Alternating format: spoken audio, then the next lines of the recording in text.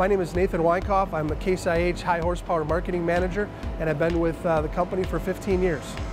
Today we are at the home of the Magnum here in Racine, Wisconsin. They also, the plant here in Racine manufactures our CVT continuous variable transmission.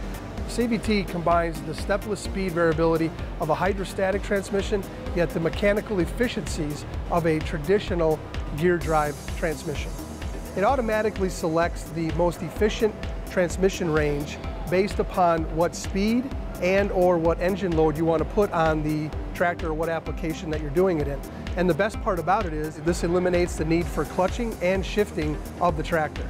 It allows our customers to precisely match their speed to what application they may be driving in, um, as well as the engine load that is needing to be performed in that application.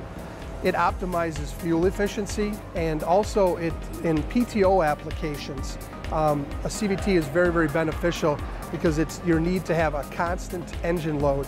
And that's what the CVT will provide in those PTO applications like baling, um, like sugar beet and potato harvesting that is required, all the while automatically adjusting the speed for that application. The Case IH CVT transmission also simplifies operator environment. And how it does that is it keeps it a balance between that power to the ground as well as the speed that they're wanting to go with within any particular application.